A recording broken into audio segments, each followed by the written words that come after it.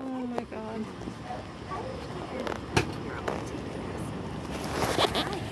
Bye, Chloe. Say hi. Bye, baby. Thank you for being sweet and saving me. She's cute. I think she was abused. I picked her up. Um, kind of persuaded her, wanted to send her over. I don't know if she's just abused really bad, but I think she also. I'm not sure. Um, yeah. Um, when I went to pick her up, the neighbors had and she was super skinny. We've had her for what two days now, Yeah. and she's put on a bit, a little bit of weight. She's been eating.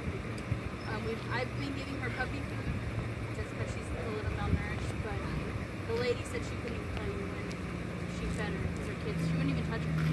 When I went to, to, to go pick her and, and put her back in her house, in the neighbor's house, she wouldn't even. So I got her to let her take her.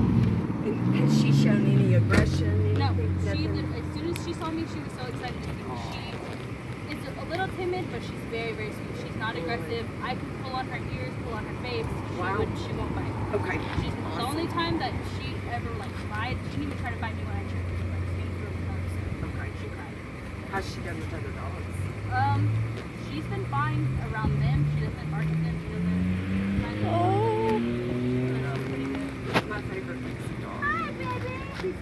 You're so scared. like a dingo. You should Yeah. have Dingo. Okay, go ahead and stop there. Let me get her.